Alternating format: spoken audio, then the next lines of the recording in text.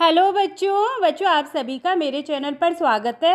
मैं आज आपको नाइन्थ चैप्टर ममता के क्वेश्चन आंसर समझा रही हूँ। यदि आप मेरे चैनल पर पहली बार आए हैं तो चैनल को सब्सक्राइब और वीडियो को ज़रूर लाइक कीजिए। तो चलो मैं शुरू करती हूँ। अभ्यास का फ़र्स्ट क्वेश्चन देखिए।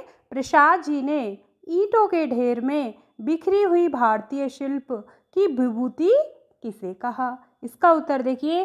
काशी के उत्तर में स्थित धर्मचक्र बिहार मौर्य और गुप्त सम्राटों की कीर्ति का खंडर था। इसे ही प्रसाद जी ने ईंटों के ढेर में बिखरी हुई भारतीय शिल्प की विभूति कहा है। अब सेकंड क्वेश्चन देखिए शहनशाह हुमायूं के आदेश का किस प्रकार पालन हुआ? वह सही था या गलत? अपने विचार स्पष्ट कीजिए।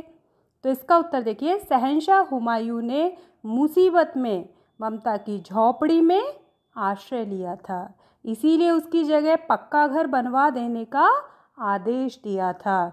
हुमायूं के बाद उसका बेटा अकबर शहनशाह बना।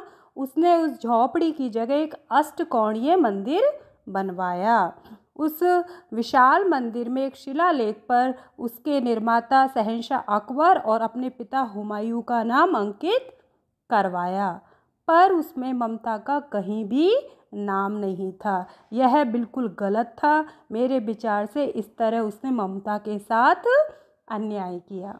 थर्ड क्वेश्चन देखिए, पाठ के आधार पर मुख्य पात्र ममता के बारे में लिखिए। आपको यहाँ पर ममता की विशेषता लिखनी है कि ममता का स्वभाव कैसा था, उसके विचार क्या थे? तो इसका उत्तर देखिए, ममता एक विधवा विधवा मतलब विडो ब्राह्मण युक्ति थी।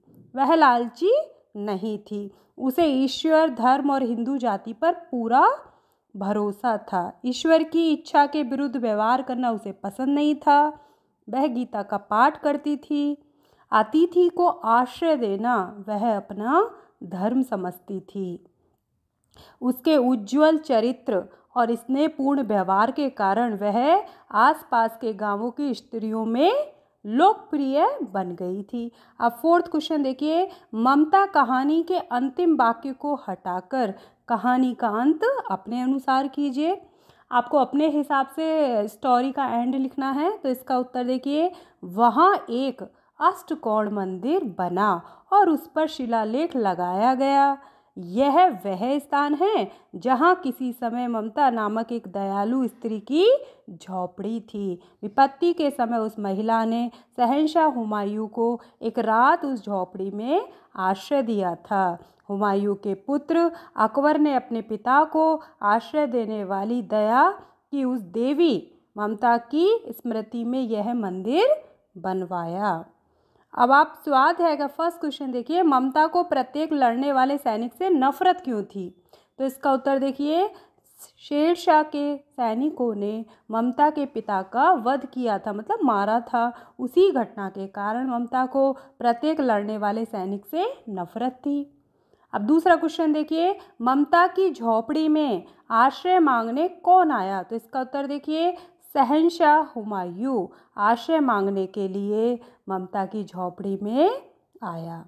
थर्ड क्वेश्चन देखिए, अकबर ने अष्टकोण मंदिर कब और कहाँ बनवाया? तो इसका उत्तर देखिए, ममता ने थके हारे हुमायूं को रात में अपनी झोपड़ी में आश्रय दिया था।